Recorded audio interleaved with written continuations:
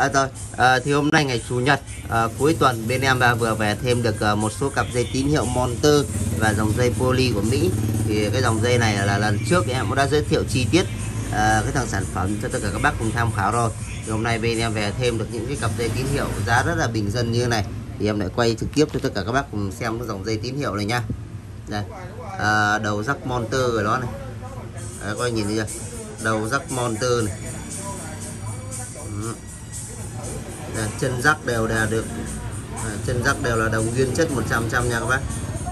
Đồng nguyên chất 100 trăm Đấy, rất là mới rất là bóng cực dây. Cặp dây này thì cực kỳ là đẹp nha các bác. Đấy, hàng nguyên bản 100 trăm.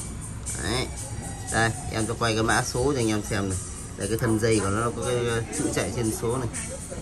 Đấy, các bác đợi em à, à lấy lại cái độ à, à các bác nhìn. Đó các bác nhìn thấy led chưa? Đấy, sáu là 0615 18 đó nhìn mã số trên thân dây nhá. Đó. thì à, cái cặp à, dây tín hiệu này thì nó có chiều dài là 1,5 mét nha các bác. Đấy, cặp dây tín hiệu này nó có chiều dài là 1,5 mét.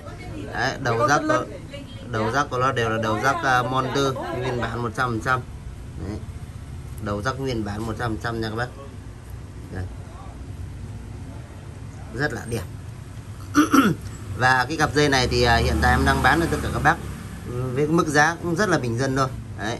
À, 350 ngàn một cặp nha. 350 ngàn một cặp. Đấy. 350 ngàn một cặp dây tín hiệu uh, của Mỹ này Monter nha. Dài mét rưỡi. Đó.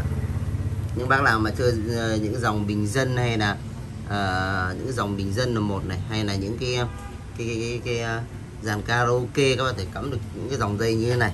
Giá nó rẻ nó tầm tiền nha các bác. Đấy, trên thân dây này. Đấy, thì uh, đặc trưng của dòng này thì trên thân dây nó lại không có in chữ nha. Đấy, tại vì cái dây đơn của nó thì mới là in chữ trên thân dây.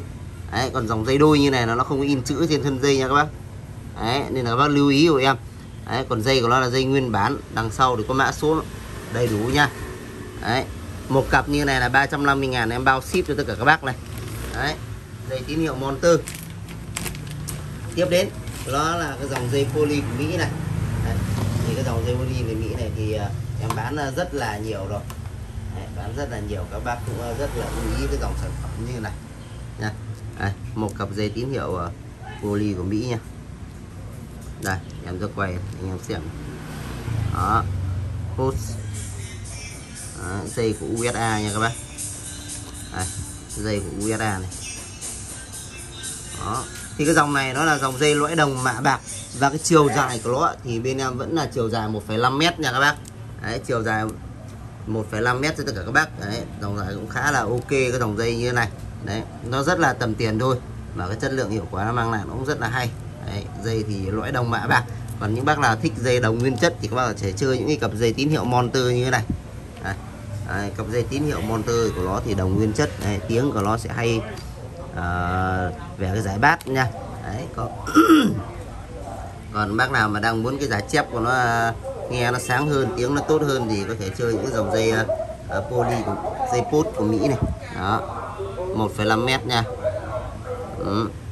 tất cả đều dài 1,5 mét hai dòng dây như thế này đấy thì hôm nay em quay uh, quay cái dòng dây tín hiệu hai cái dòng của Mỹ này. Đấy một là Monter hai là dòng dây phốt của Mỹ.